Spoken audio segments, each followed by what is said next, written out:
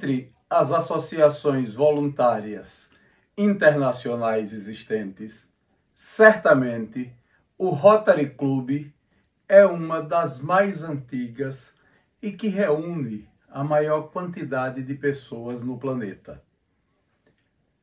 No Brasil, ela tem muita importância. E em Sergipe, o jornalista Carlos Magalhães é um dos símbolos do rotarismo que em 2024 completará 90 anos de funcionamento no estado de Sergipe. Carlos Magalhães tem atualmente 58 anos como rotariano e é da sua atividade de rotariano, das suas responsabilidades no Rotary, que ele nos fala neste vídeo de memórias. 3. Carlos Fernandes de Melo, eu, Carlos, Carlos Magalhães Magá, Carlos Fernandes de Melo e Ana Maria Melo, os três. Mas tem uma, uma irmã, Ana Elizabeth Magalhães de Melo Winter, que mora hoje nos Estados Unidos e casou com Ronald, que era o diretor da Expedição do Brasil aqui em Sergipe.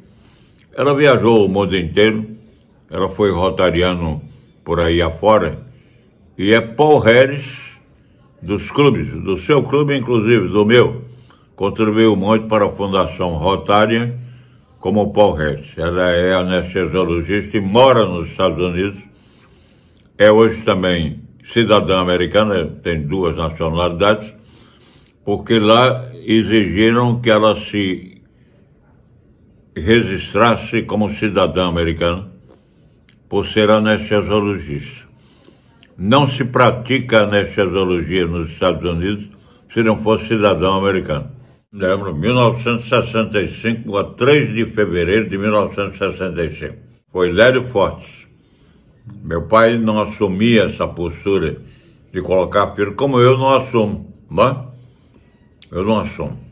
Eu agora mesmo estou preparando um sobrinho, filho de Ana Mello, para ser rotariana do meu clube, certo? Um sobrinho ou uma sobrinha. Então nós tínhamos esse predicado. E ele era um rotariano muito convicto e muito ativo. Tanto é que quando ele cumpriu a missão de governador, ele foi convocado por Rotary Internacional para substituir o irmão de Gileno Lima, que era governador naquela época do mesmo distrito pela Bahia. Ele adoeceu e o Rotary o convocou, ele aceitou ser e fez um grande trabalho. Ele então, tinha grandes amizades. Vezes. Duas vezes ele. Ah. Carlos Fernando de Melo. Uhum.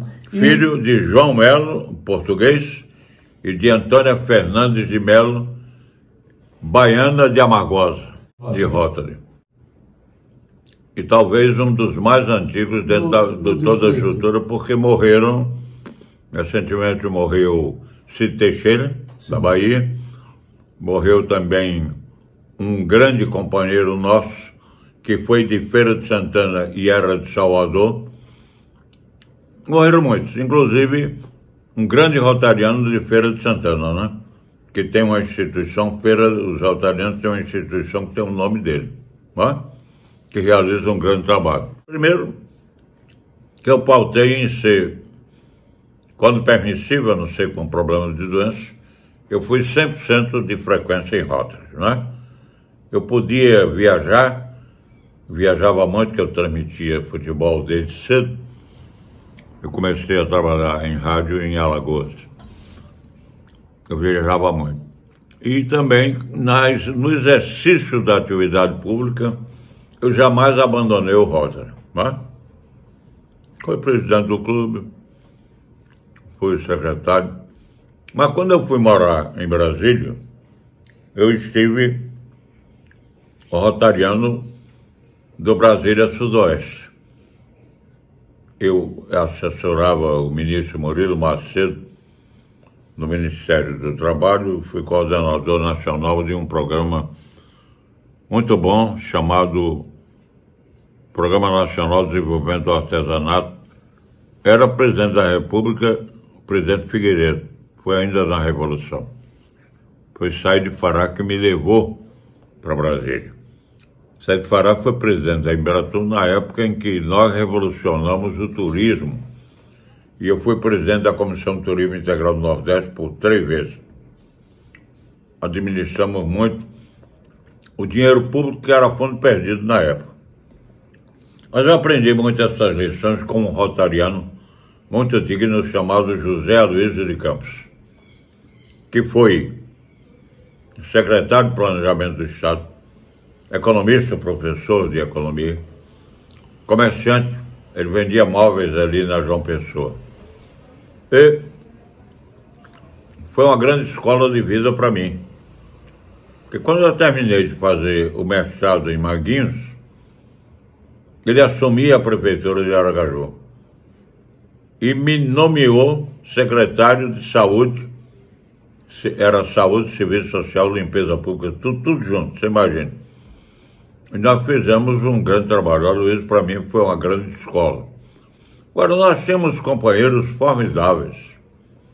Hélio Leão era um deles, que era da Universidade Federal, e era observador para ver quem era comunista ou não. Eu não era. Também nunca fui pelego, né? Nunca fui.